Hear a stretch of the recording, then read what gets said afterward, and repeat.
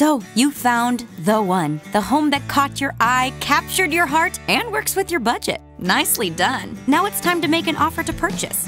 Your realtor will write up and present the offer for you because handling the paperwork is another one of the services they provide. How much should you offer?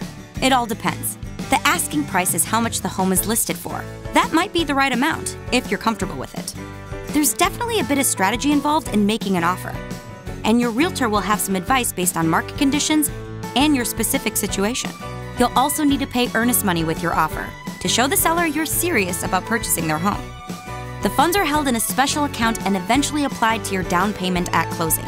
Your pre approval, which you should have in place before you start your home search, lets the seller know you can actually afford to buy their house. A pre approval from Summit is fast and free. Need a refresher on why it's the best first step to owning a home? Watch our video on the joys of pre approval. Then apply online or contact a Summit Mortgage Loan Officer to get started.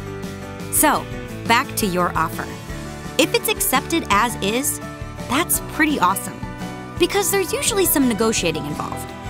For example, the seller could come back with a counteroffer asking for more money, or it could be something else, like pushing back on the closing date you proposed, or excluding something you wanted to have included with the house.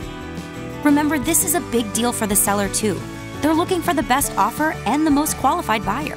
If you receive a counteroffer, then it's up to you and your realtor to decide whether to adjust your offer or walk away from the deal. If you counter their counter, you may even go another round or two. Negotiations are just a normal part of the process. Your offer to purchase should be made contingent upon a satisfactory home inspection by a third party. And when they ask you to come along on the inspection, make sure you do. It's your chance to get to know how things work and learn what to keep an eye on.